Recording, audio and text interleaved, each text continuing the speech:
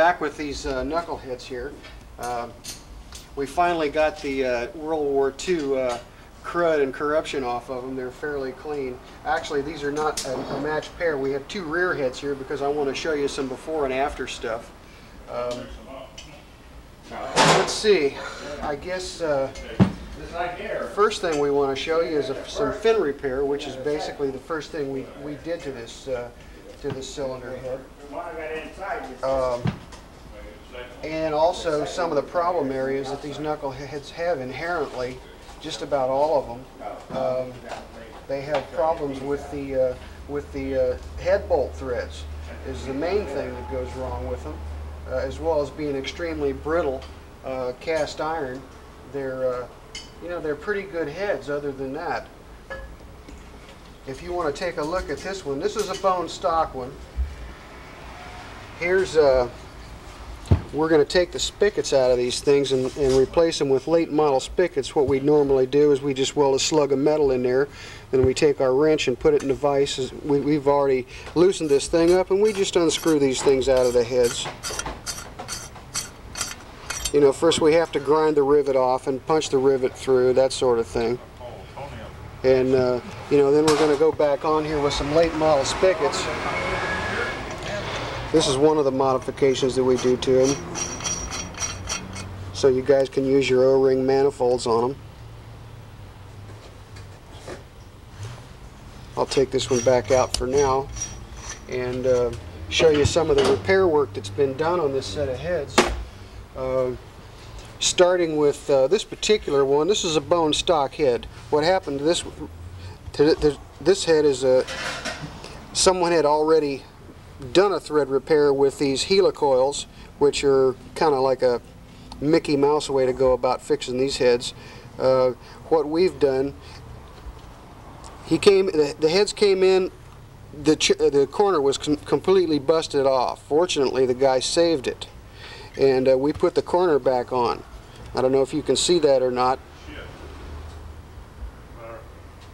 Can you dis dissimulate the difference in color there? Part of it's weld and part of it's uh, cast iron. And uh, after we put that chunk back on, then we put an insert in it. It's a full circle insert, which I'm going to show you, but you can take a look at the difference in these things. The rest of these holes have helicoils in them, which is kind of, like I said, the Mickey Mouse way to fix them. They don't really last very long. That's why this one came out in the first place.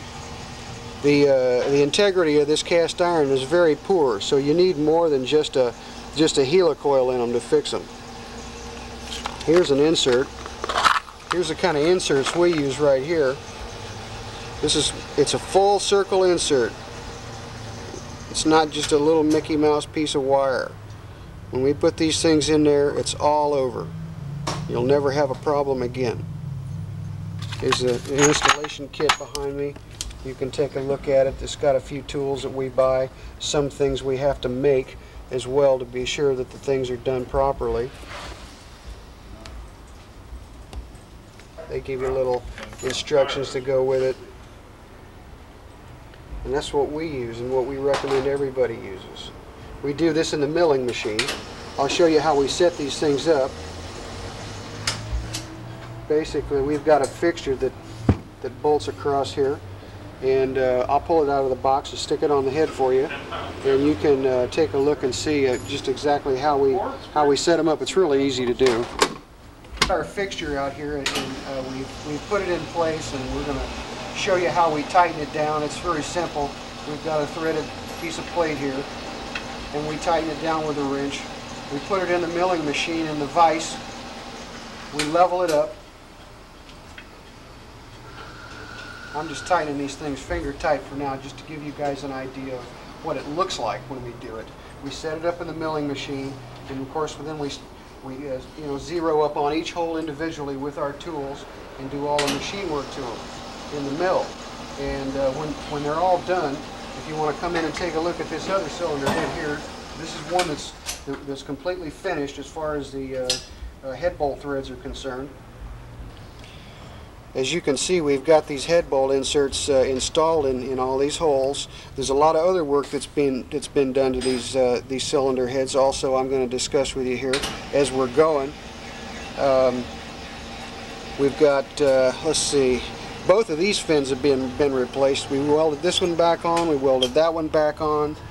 Um, let's see if there aren't some other fins that...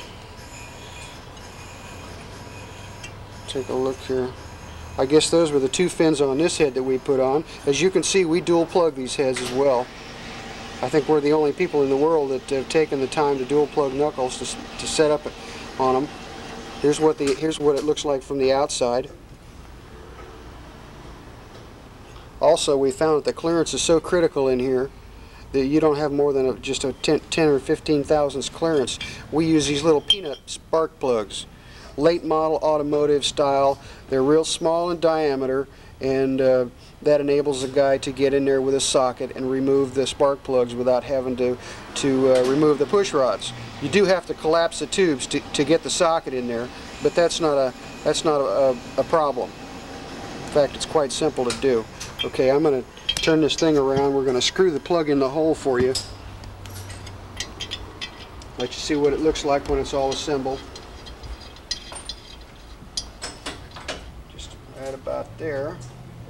And that's where it's that's where it stops.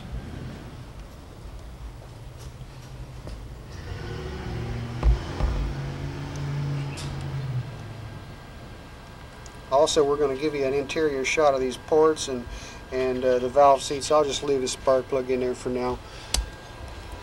You, it, it, we've uh, we're doing a no lead conversion on these cylinder heads as well. What we've done is put our hard seats in them, and when we do that, we uh, always increase the size of the intake. We update the cylinder head so that they'll breathe properly, especially for, for these guys that have the big inch motors. They really need to get every bit they can get. Here's here's a stock one.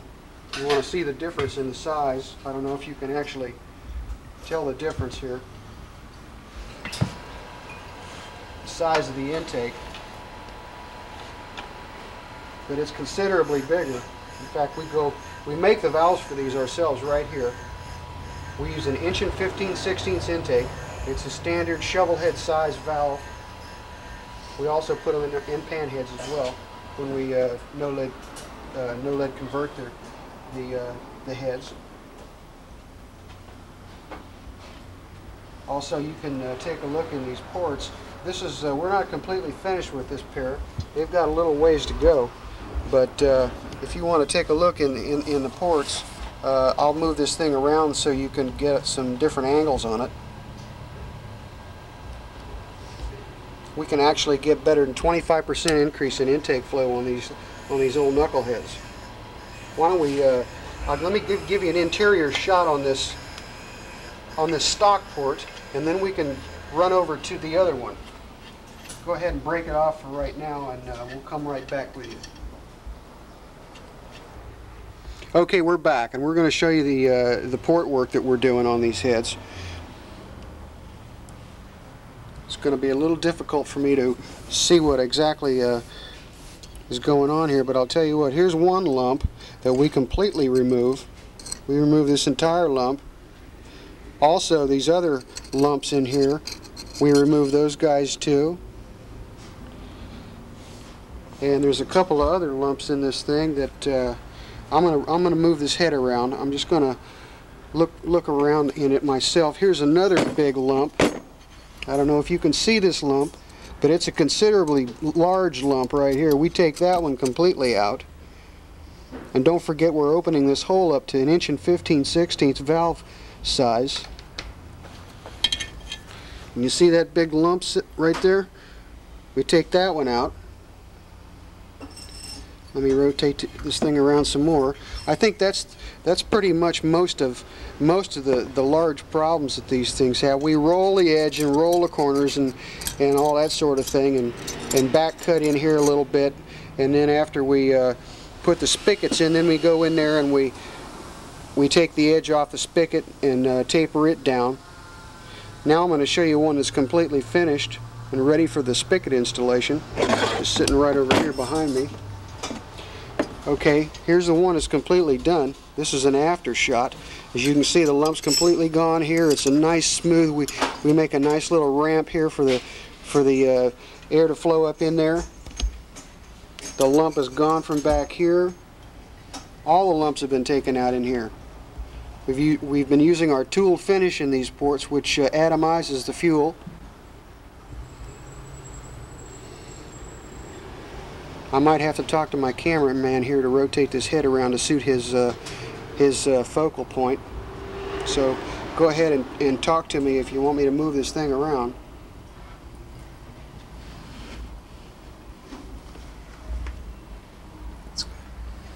Look pretty good here. Take a look see from this side.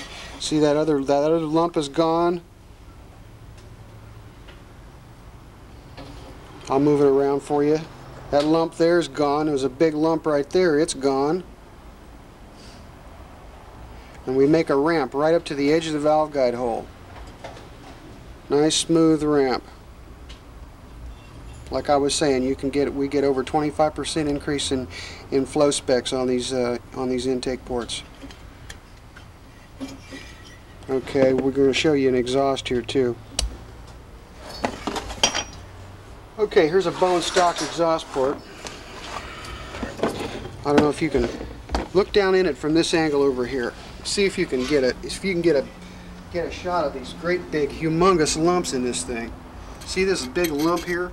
Well, this is a problem. This is a, a significant problem right across this area. That just completely kills off the exhaust flow.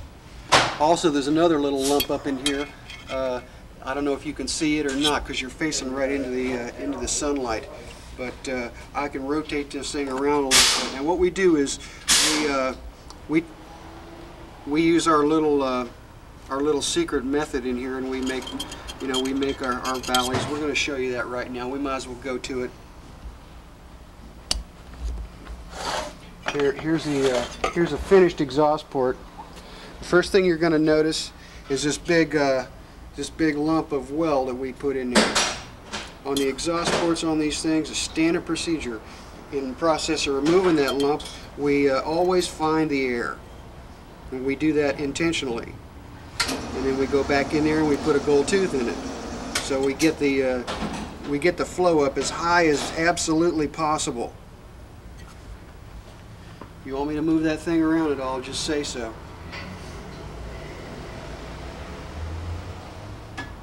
We make a ramp all the way up around the around around the corners, uh, right up to the edge of the, of the guide boss.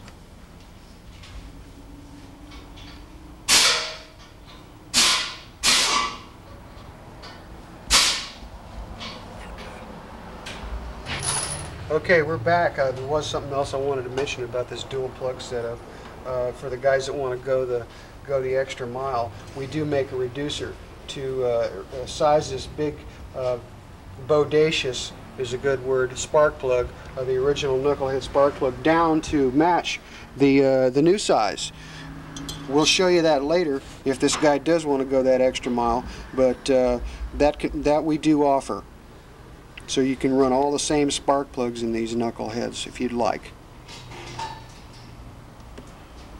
Also, while we've got the camera rolling and everything is nice and quiet, there's some other uh, some other parts that you guys might be interested in seeing that we make by hand here that are not available anywhere else in, in the world. Um, come on over here and let me show you these uh, these valve guides for starters. We make these guys out of a, out of a chunk of uh, uh, cast iron from scratch. And we can make them in any oversize we want. Also, when they're installed on the head and we get all the measurements, we machine them down for the valve stem seals that we're going to use. Basically the same old uh, spring-loaded Teflon stem seal that we use on all our other applications are going to be used on this job as well. And that's what we start out with. These are these are uh, very porous cast iron guides and they work the best. Also, we've got laid out here our, our intake spigots, which you, which you guys have already taken a look at. These are, the, these are uh, some recontoured and polished valves. Uh, we make these intakes out of blanks. We cut them down, we cut the diameter down, we, we, we machine all the, uh, all the angles on them, swirl polished on the back. We've got the width and the, you know, the thickness and all that sort of stuff all taken care of for you. Once we get them in the heads, we measure where we want to put the keeper groove, and we cut the keeper groove in them. You know, we cut them off to, you know, basically match this length. Uh, this is this particular valve is a titanium nitrided exhaust valve that uh, we like to use in these knuckleheads. Um, we also recontour and polish these valves. We bring the uh, width down to 60 thousandths on the exhaust and 45 thousandths on the intakes. Real nice setup for these knuckleheads. It's about the best thing that anybody's come up with yet, and we're real proud of it here at Flow Dynamics. If there's anything else here, these are the, you know, a couple of the cans that, that fit over there before we install the valve guides, and you know we've got all the valve springs over here. We're not ready to put them together, but when we get ready, uh, we'll get the camera back on the scene and we'll finish up with you. Until then, we'll see you later.